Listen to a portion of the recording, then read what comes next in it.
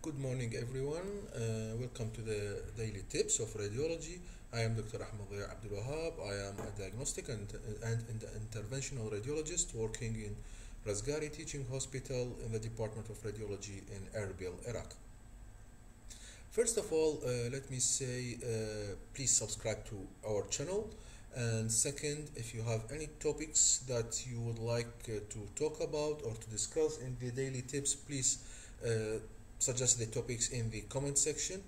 Today we are going to talk about a very very common disease in the especially in the Middle East area that is the hydatid cyst or echinococcosis. Echinococcosis uh, it's a parasite that uh, uh, in which uh, it is the definitive host is in the dogs and foxes uh, while in the intermediate host is uh, is in the sheep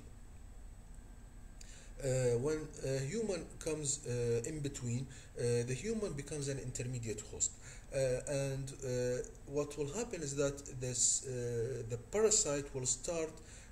that's that its name. It's Echinococcus granulosus. It will start forming cysts that contains the scolices of the hydatid disease, and these cysts can form practically anywhere in the body.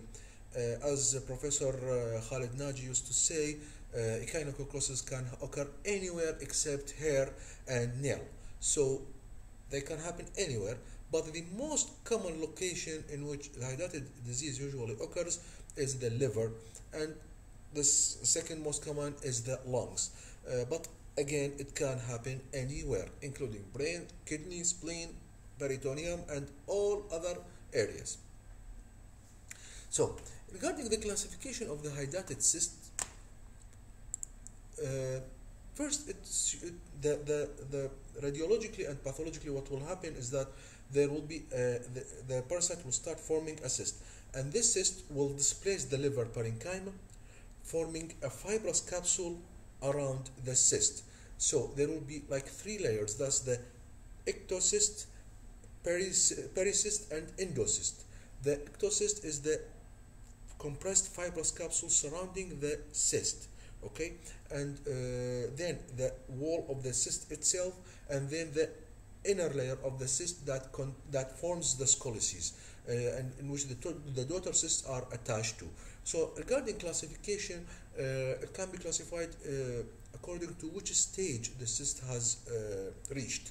Uh, first of all there is the stage one in which it's basically a simple cyst. It looks like a very well defined unilocular cyst that has a peripheral layer indicating the fibrous capsule.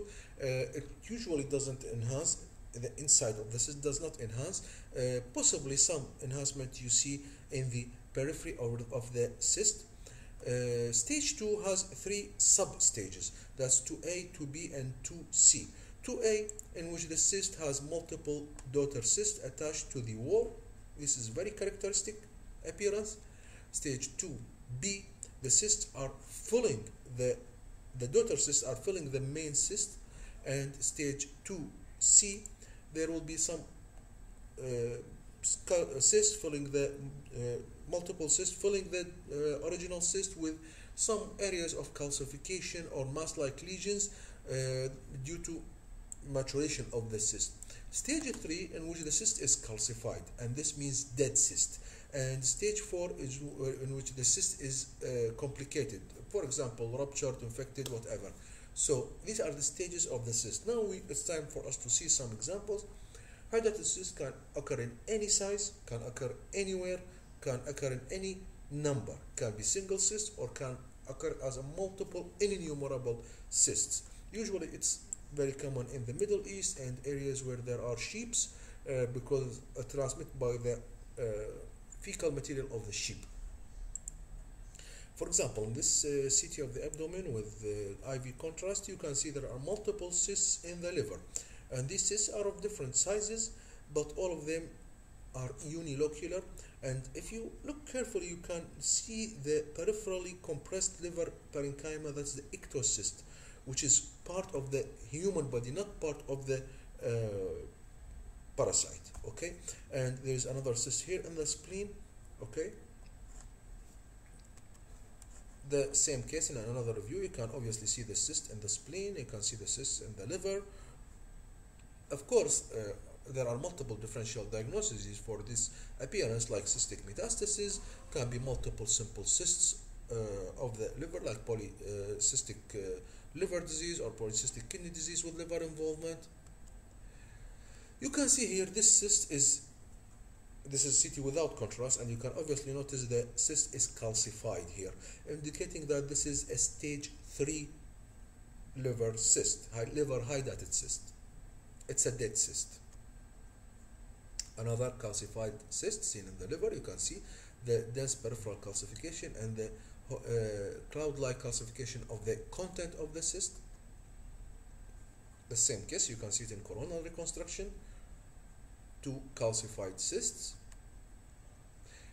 You can see here there is there are multiple cysts within adjacent to each other within the right segment of the uh, right lobe of the liver sorry uh, with peripheral enhancement with, with peripheral compressed uh, uh liver parenchyma peripheral uh, compressed fibrous tissue you can see in this case there are multiple daughter cysts within the main cyst you can see this is the main cyst here containing multiple one, two, three, four, five, multiple daughter cysts that are attached to the periphery of the cyst, indicating this is a stage 2A. After contrast injection, you can see this is the original, the mother cyst containing multiple daughter cysts, and there is some enhancement in the periphery of the cyst, the ectocyst, the part of the human body, the fibrous capsule if you look at the coronal reconstructed images, you can also notice, in addition to the cyst in the liver, there are other cysts in the pelvis and in the peritoneum. All of them contains multiple daughter cysts with peripheral enhancement. These are stage 2 cysts. Again, this is CT without contrast of the abdomen showing a cyst in the right lobe in segment 4 containing multiple, filled with multiple daughter cysts. Again, you can see this the same condition in uh, the same case in a different uh, slice. And this is what the hydatid cyst, cyst look like in uh, with surgical removal. Of course, this is filled with scolices, and what they what uh, what they do is that they inject alcohol in the cyst before they touch it uh, so that the scolices die and then they uh, pull or evacuate the fluid from within the cyst be, uh, before they remove it because uh, if the cyst rupture keep in mind if the cyst rupture uh, some people say it's worse than malignancy because the scolices will disseminate all over the peritoneal cavity, the abdominal cavity, and each one of them will form its own cyst. There will be multiple, innumerable cysts in the abdomen.